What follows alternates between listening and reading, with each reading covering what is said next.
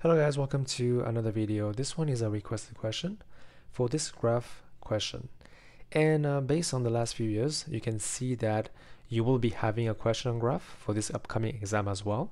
So make sure you understand uh, how to do this question and it may help you for your exam as well, okay? So the table shows some values for y equal to 1 plus 2 over x. Given that correct, given correct to two decimal places where appropriate. Now question number one, complete the table. So as you can see here, we have no values. This is your value of y when x is equal to 8. So y is equal to 1 plus 2 over x is equal to 8. So let's see what we have for this one. That should be 1.25. That will be your value for this y. That is part 1. That is done.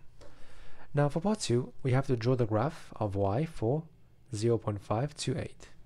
So let's do that, okay? So the first point we have is 0.55, so 0.55 will be right here. Then we have 1, 3, this one. Then we have 3, 1.67. So we have we have 2, 2 first, sorry, 2, 2. 1.67 will be about here. Then we have 4, 1.5.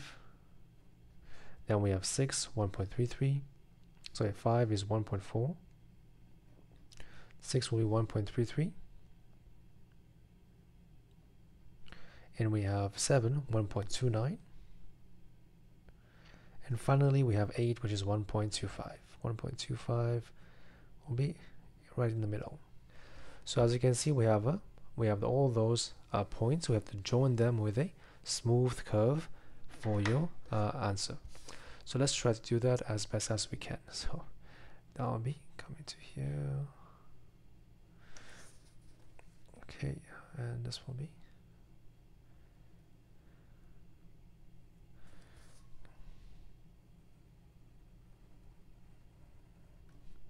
So make sure that all uh, the curve passes through all your points properly and make it as smooth as possible. It is very important for your uh, question that comes right afterwards. This is your y equal to 1 plus 2 over x.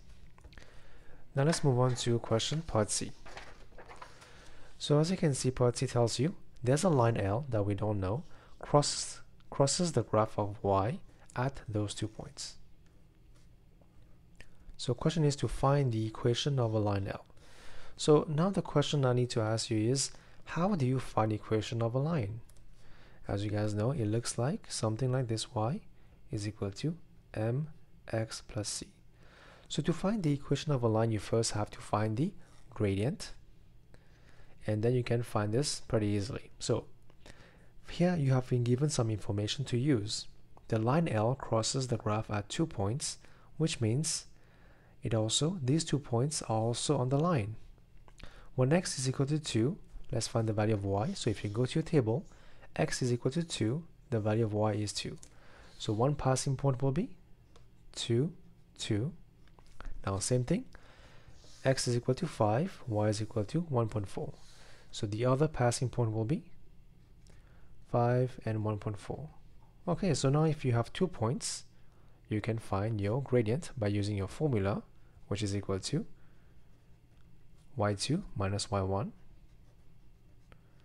and x2 minus x1 so 1.4 minus 2 divided by 5 minus 2 that will be minus 0.2 so now to find the equation of a line L we have to use the gradient and one of those two points.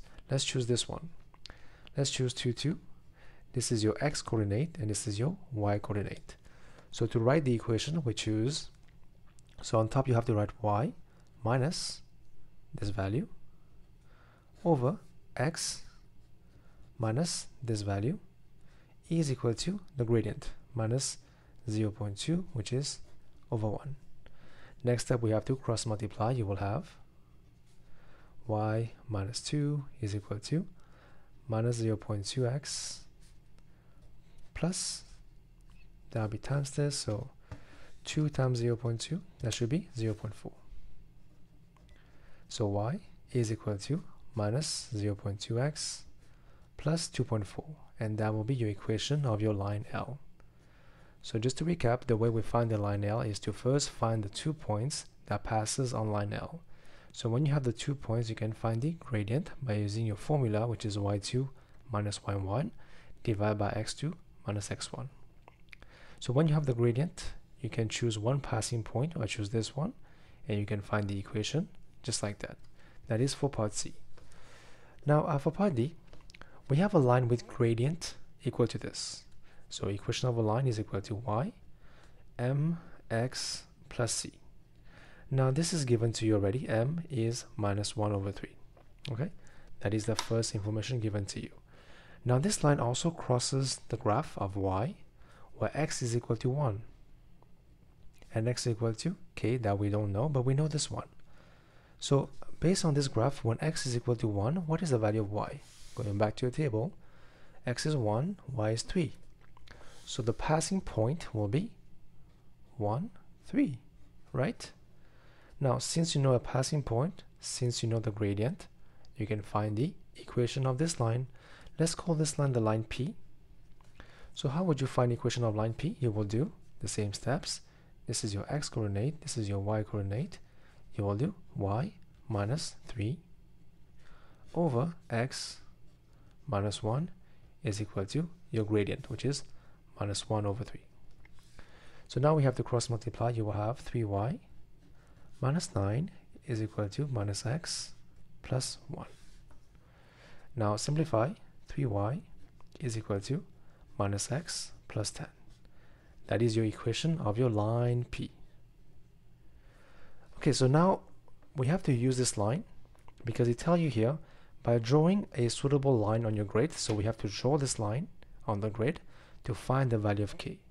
Now where is the value of k? The value of k is where this line will cut the graph at the other point. Okay, so let's do that. So to draw a line, we have to have two points. So one point we have is 1, 3 from here. What is the other point? Let's choose anything we have. Let's choose, for example, I can choose x to be equal to uh, 4, for example. So y will be equal to, so minus 4 plus 6 plus 10 will be 6, divided by 3, that should be 2. So the other point will be 4, 2. So now we have two points. We can draw your line on the curve, right? On the graph. So the first point was 1, uh, 3 is right here. And then we have 4, 2. 4, 2 will be right here. So now given that we have the two points, we can join them to draw your line P. So by drawing your line P, you will find your answer for your value of K. So as you can see, your value of, uh, so this is your your first point of intersection and your other point should be about here. So usually it should be a landing on the 6, but that is okay as well because you always have an estimation for your error, for your values in graphs. So this one will be your value of k, which is 6.15. That will be your other value for k. So let's write this down, 6.15. But now usually if your graph is perfectly drawn, if this line is perfectly straight, you should get 6. But the method is what counts.